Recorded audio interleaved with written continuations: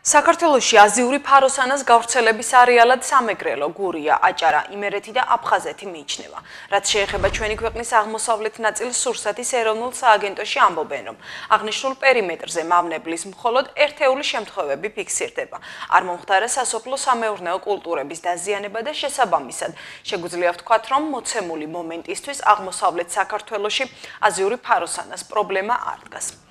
უწყების ინფორმაციით მდგომარეობის მონიტორინგის მიზნით ფერომონი დამჭერები აღმოსავლეთ საქართველოს სოფლებშიცაა განთავსებული და შედეგები შეშფოთების საფუძველს არ იძლევა. მავნებელი გავრცელებულია ძირითადად დასავლეთ საქართველოში.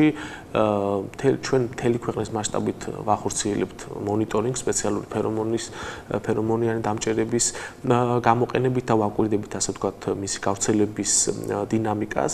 აღმოსავლეთ საქართველოში ფიქსირდება გარკვეული შემთხვევები მაგრამ არ დაფიქსირებულა სასოფლო სამეურნეო კულტურების დაზიანება. აქ ერთეული ინდივიდები გვხდება რომელიც იგივე შეიძლება ბუნებრივად გადმოსულიყო ეს მავნებელი, ასევე სატრანსპორტო საშუალებები ძალიან ერთ-ერთი გზა არის მისი გავრცელების იმ ადგილიდან, სადაც ეს მავნებელი არის გავრცელებული, იმ ადგილებზე, სადაც არ გვხდება.